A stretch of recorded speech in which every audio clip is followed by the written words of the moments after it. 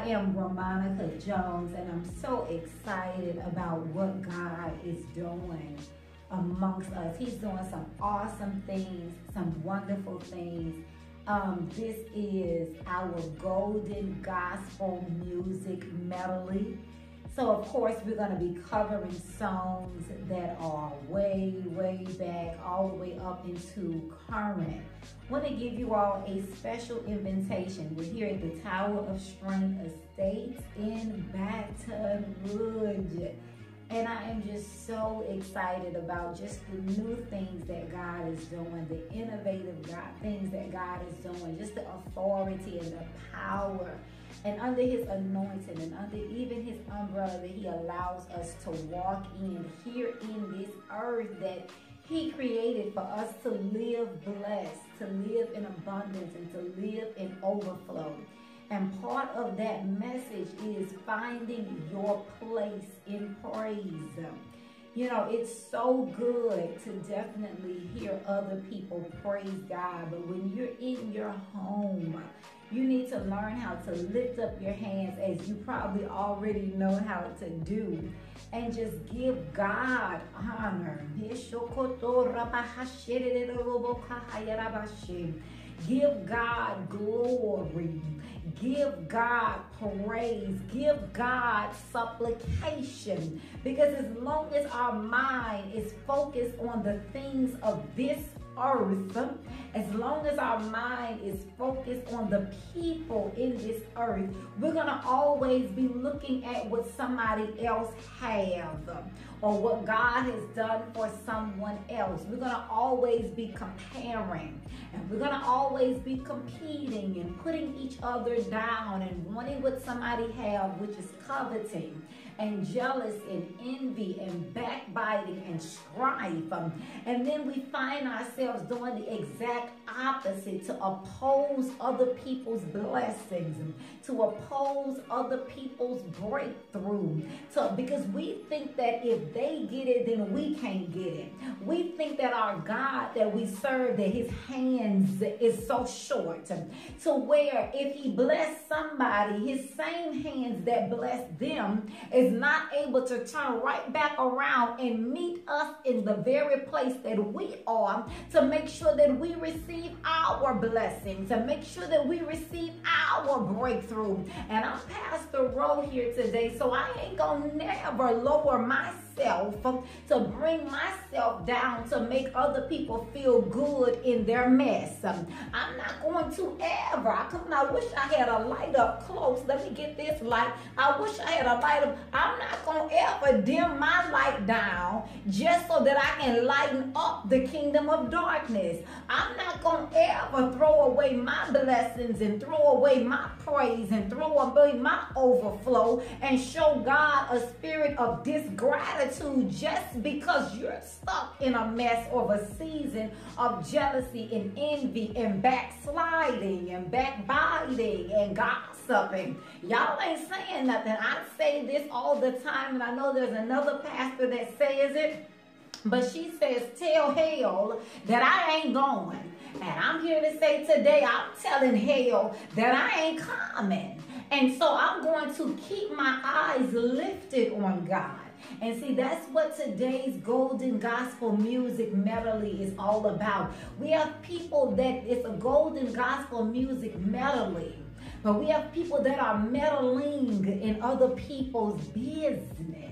We have people that are meddling in other people's breakthrough. And they're meddling so strong to where they think that that blessing is theirs. But I have never seen God deliver mail to the wrong house. I have never seen God deliver a breakthrough and a miracle to the, to the wrong person. I saw that when he healed the lady with the issue of blood, he didn't give her blessing of healing to somebody else. He didn't give her breakthrough breakthrough to somebody else. There was another child that he raised up from the dead. And it was because that father sought healing for his daughter. And God ain't never turn around and heal somebody else's child in the place of that person's breakthrough. So we're here to get a breakthrough in the mind of us all. Because as long as our mind is focused on somebody else and meddling, and other people's business, other people bedrooms, other people living rooms, other people coffee rooms, other people offices, other people associations, other people's identity, other people's property. As long as we're doing that, then we're not cultivating what God is doing for us. We're not giving him praise and glory for how he put food on our table. We're not giving him glory and honor for how he put clothes on our back. He, we're not blessing his name and lifting his name up for how he kept our mind, how he kept us in perfect peace, how we didn't go through things that other people went through, but then we see what they went through, but we still jealous of how they came out. Y'all ain't saying nothing. So as long as your mind is focusing on what I have or someone else have, you're not being redirected to get what God has for you. So that means your blessing is on delay. Your mind is not even in the mental capacity or focused state to focus on the business that God has for you, to focus on the marriage and the ministry that God is going to birth out for you, to focus on the house that God has with your name on it, to focus on the children or to focus on the real clothing line or to focus on the music song that He's trying to download in your spirit so you can get to the music studio. As long as your eyes is fixated, obsessed on somebody else, then you're never going to get to where you're going. And I tell you the quickest way to solve this problem, because I ain't going to give up what God has for me. And I'm telling you this today, I wish you would have that attitude. I wish you would say, devil, you have distracted me long enough.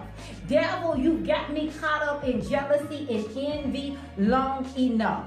Devil, you have me caught up in perversion that is not benefiting me at all long enough. Devil, you got me envious and, and hurting over what God has done for somebody else to the point to where I can't trust God to do nothing for myself. And so with that being said, you ought to ask God and thank God right now for breaking you out of that mental cycle of going nowhere, of breaking you out of that mental cycle of, of demoniac and breaking you out of that mental cycle of low level thinking and putting you in a realm where you're able to just say, I will bless the Lord. Come on, somebody. Come on, somebody. Oh, my soul. Bless the Lord and all that's within me. Bless his holy, holy name. Come on, because what he did for somebody else, he's able to do for us what he did for Mary in the Bible, what he did for Martha in the Bible, how he healed the lady with the issue of blood, how he allowed even John the Baptist's mother to give birth at an older age, how he blessed Mary, one might say, when she was a virgin, even from the onset, how he even healed one of the other ladies that was connected to to Mary and Martha in the Bible from in, in distant ways. So if God, the same God that split the Red Sea and gave a miracle to the children of Israel, the same God that rained down manna from that rained down manna from heaven to feed the children of Israel, the same Jesus that broke bread and, and the fish and fed 5,000 is who you need to look to for a blessing. It's who you're going to have to bow your knee to and go for a breakthrough and an identity and, and, and, and, and promises and, and overflow. That's going to man to do what only God can do is because you're not in your place of praise. Because when you get in a posture of praise, me coveting somebody else is too low. Me being jealous is too low. Me obsessing over somebody else is too low. Me focusing on what God has done for them and then I'm not receiving what God has for me or a counterfeit version of that is too low. But when you get in a place of praise, you're going to elevate above those levels of winds You're going to elevate above false doctrines. You're going to elevate above homosexual teachers. You're going to elevate above demonic impartations. You're going to elevate above envious and covetousness and obsession and obsessive mentalities. You're going to oh, you're going to operate above in a level where you're going to be able to see the vision that God has for you to come to pass.